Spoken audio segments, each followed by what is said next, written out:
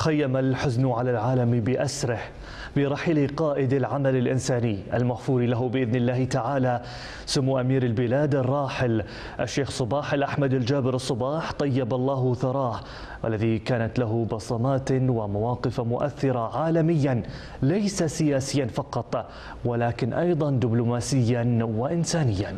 وتصدر خبر رحيل سموه طيب الله ثراه وسائل الإعلام العربية والأجنبية مستعرضة نشأة وحياة سمو الأمير الراحل وأهم الأحداث والإنجازات التي شهدتها فترة حكم سموه حتى يوم وفاته رحمه الله وأسكنه فسيح جناته. بوفاة أميرنا الراحل الشيخ صباح الأحمد الجابر الصباح طيب الله ثراه خيم الحزن على العالم بأسره. نعاه زعماء الدول ببالغ الحزن والأسى.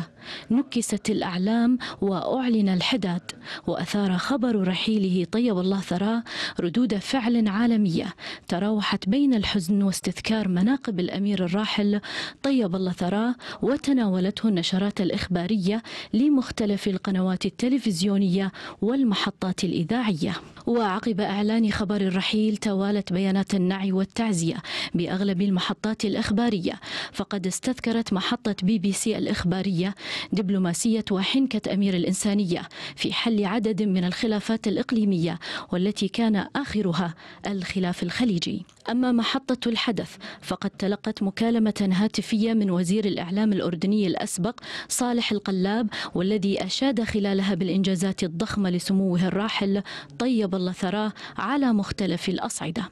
ومن مملكة البحرين الشقيقة فقد وثقت عبر محطتها الإخبارية. البحرين مقتطفات من مسيرة سموه رحمه الله الحافلة بالعطاء. العديد من المحطات الإخبارية من بينها الجزيرة الحرة والإخبارية وفرنسا قد استذكروا لمحات من الحياة السياسية لسموه المغفور له بإذن الله تعالى وأدوار الوساطة التي اطلع بها. أما محطة قطر فقد قطعت البث وأذاعت آيات من القرآن الكريم. مآثر والدنا الراحل. طيب الله ثراه لا تحتويها مفردات ولا توفيها العبارات.